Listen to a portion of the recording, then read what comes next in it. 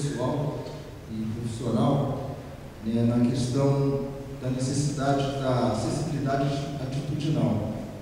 É, a universidade está aí demonstrando as tecnologias assistivas para os demais participantes e na promotoria da, de, de defesa dos direitos das pessoas com deficiência foi aberto um procedimento com as instituições de ensino superior da cidade de Curitiba, é, pelo menos das principais, né? e são 48 instituições de ensino. E quando nós fomos realizar o trabalho na Universidade Tecnológica, né, nos foi apresentado pela direção da escola um programa elaborado pelos alunos, né, um grupo de alunos de um curso de pós-graduação, se não me engano, da área de segurança do trabalho, foi elaborou esse trabalho. E se não me engano, esse trabalho depois até foi, teve uma assistência do nosso colega Ricardo Mesquita, que é um especialista reconhecido por todos nós. Né? E esse, esse projeto, ele, como, como, por ser uma instituição pública, principalmente, né? tem aqueles entraves burocráticos de implementação que envolvem é, licitação, né? toda aquela política é, de governo. Então, eu só queria dar esse testemunho porque é, parabenizar a instituição, é, estender essa ideia para as demais instituições de é, nível superior, inclusive principalmente aquelas que tratam também do design, da engenharia, da arquitetura, porque é muito importante ter essa ferramenta disponível para a sociedade. Então, é, quero parabenizar a instituição, parabenizar o nosso encontro aqui, né, do Instituto de Engenharia Paraná, por envolver né, os profissionais. É isso.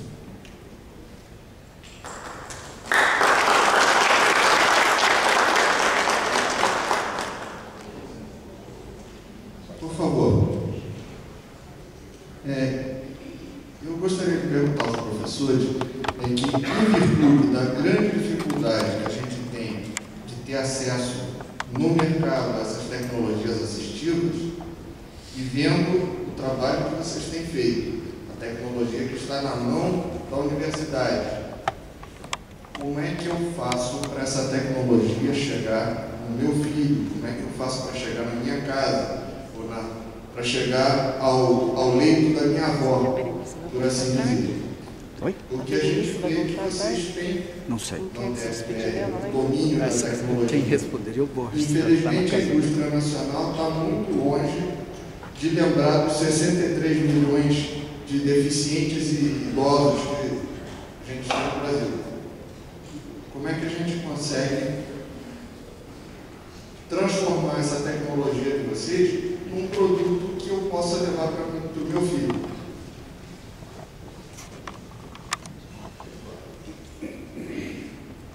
Eduardo, nem todas as viúvas são ricas, né?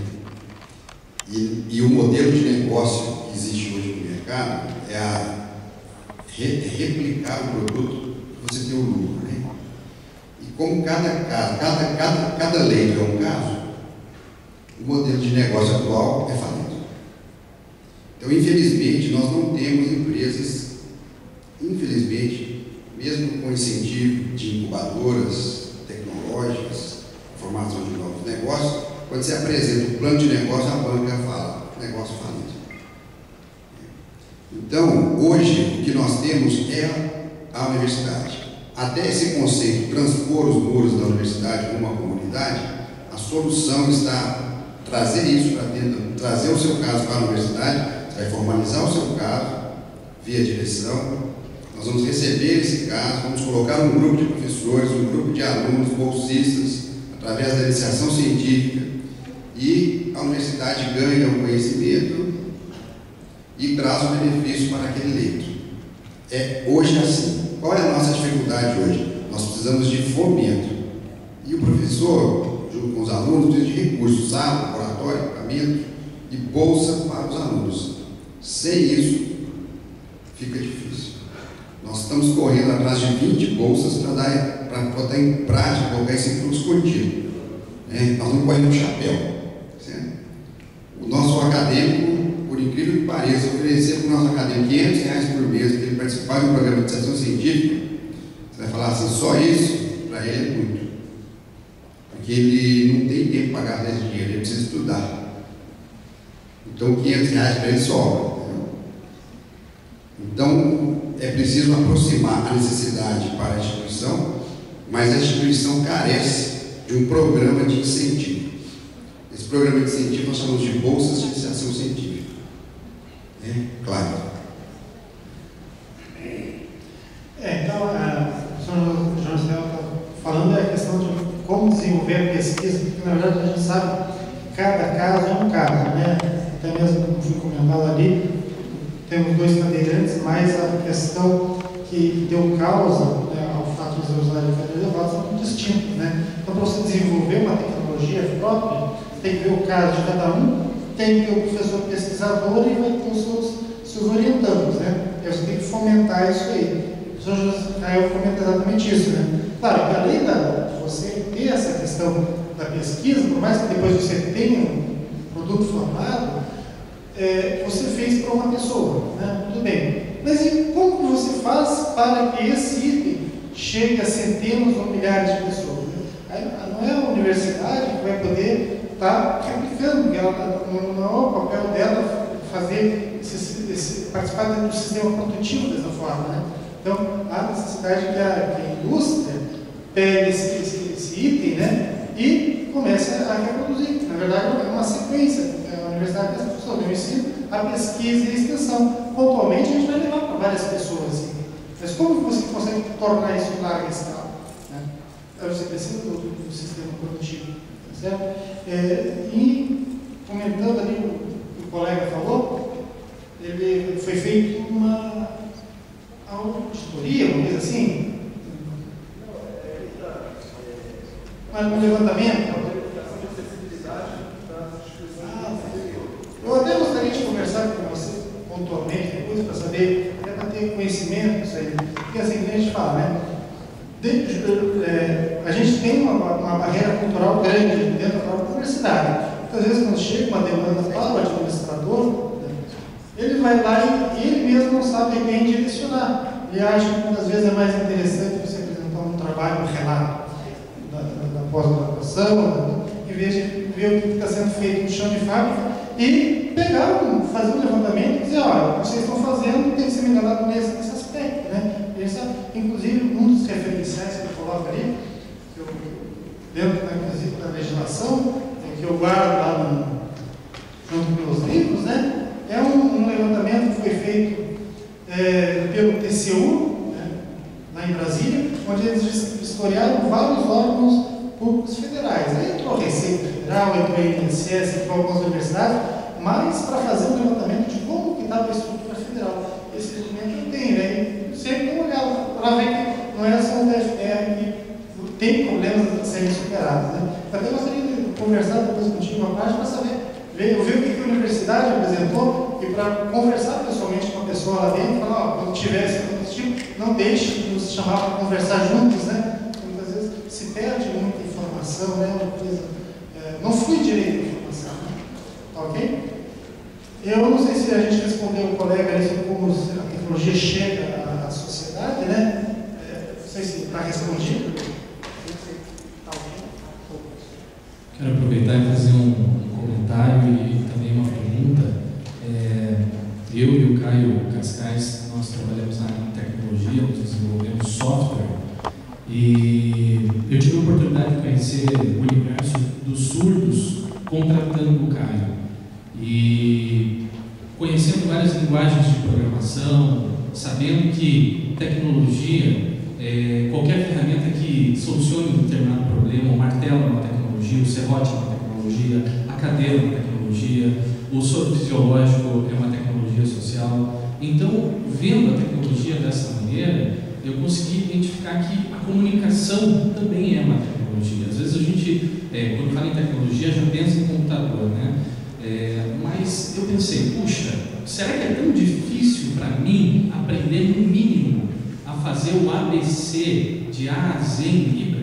Será que o deficiente é ele que não me ouve? Ou o deficiente sou eu que não tenho a capacidade de aprender o alfabeto em Libras? E Libras é o segundo idioma do Brasil.